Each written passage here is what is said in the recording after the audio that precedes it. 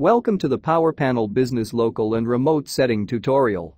In this video, you will learn how to set up the shutdown configuration in response to specific events. First, log into PowerPanel Business Local or Remote. Then select Setting and click Shutdown Events. Choose the required time that your computer will take to shut down and whether it will be shut down or put into hibernation. To prevent data loss, please keep save files and log out checked. In addition, if your computer is connected to a PDU or ATS, please keep the second option checked too.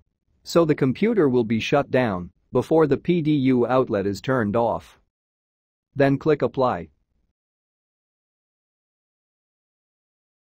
Next, please go to the UPS shutdown delays section, where PowerPanel Business provides a list of events. And you can decide whether they will trigger a shutdown. If not, please select Inactive. If yes, please select Instant. Or specify the delay time for initiating a shutdown.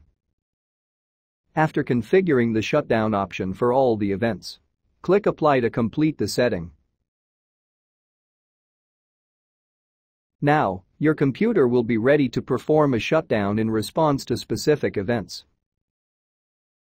This is all about the shutdown configuration for specific events setting.